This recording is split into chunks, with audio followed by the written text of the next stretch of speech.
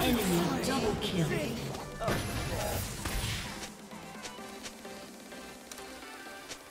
They should have pinged by R. Worth.